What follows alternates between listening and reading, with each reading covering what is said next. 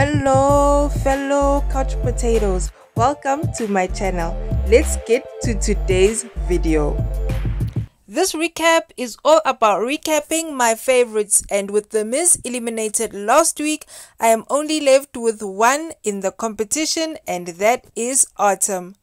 This week featured a different icon, pop and R&B goddess, Janet Jackson, and also a double elimination to set the stage for the coming semi-finals.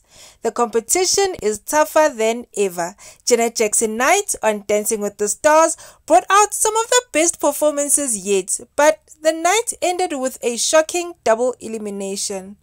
Melora and Artem tackled the Paso Doble to seductive fantasy after a tough week of rehearsals. Their performance was powerful and memorable. Bruno raved that the key to the Paso Doble is artistry, and the artistry was there.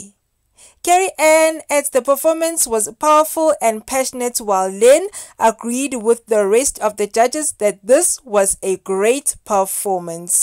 Melora and Artem scored a perfect 40 out of 40, all judges giving them the perfect 10.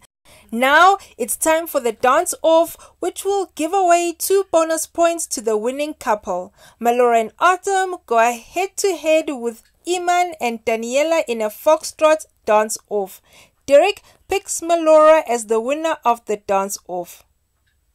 It's elimination time. The first couple who will dance in the semi-finals is Suni and Sasha, and the bottom three are Melora and Autumn, Jimmy and Emma, and Olivia and Val. They are eliminated immediately. It's down to Jimmy and Emma as well as Melora and Artem. The judges choose to save Melora and Artem, which means Jimmy and Emma are the second to be eliminated.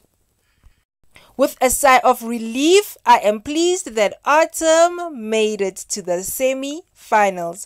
Please stay tuned to his seductive fantasy Paso Doble performance with Melora.